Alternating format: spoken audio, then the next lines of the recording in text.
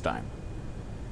More and more people are enthusiastically coming forward to make Swachh Bharat Abhiyan a success. Launching a coffee table book on sanitation champions from different parts of the country, Drinking Water and Sanitation Minister said many states were doing exceptionally well in setting up toilets in rural areas and they were likely to achieve targets in the next two years. आ, मेरा जो कुनवा जो मेरा समुदाय है जो बिल्कुल अभी अलग है जिसको अभी समाज ने बिल्कुल नकारा हुआ है अपनी समुदाय को एक अच्छी पहचान दिलाने के लिए मैं इस यो, अभी योजना से जुड़ी कि बधाई तो हम मांगते रहेंगे एक काम ऐसा भी करें कि हमारे ऊपर एक स्वच्छता का लेबल लगे। जब हम स्वच्छ होंगे तो हमारी पहचान भी स्वच्छ बनी हमारी बहन बेटी बाहर जाती है बड़ी बड़ी मुझे बढ़ा रखी तुम लोगों ने तो और बाहर जाती है आप घर में शौचालय नहीं बना सकते क्या?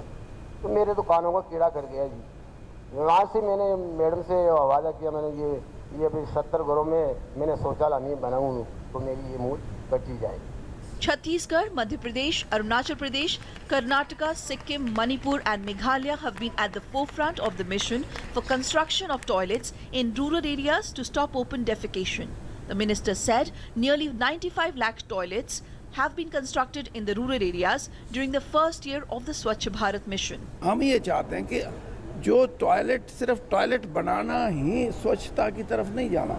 टॉयलेट का इस्तेमाल हो और वो इस्तेमाल भी मन से और दिमाग से हो के अगर हम ये करेंगे तो हमारे को लाभ है। हम तो वो वो जो माइंड सेट है ट्रिगिंग ट्रिगरिंग है उसके ऊपर हम ज़्यादा ज़ोर दे रहे हैं The book titled An Open Mind highlights the success stories of 13 sanitation champions whose endeavors resulted in 100% toilets in their villages. With bureau inputs, Rishi Kumar's report, DD News.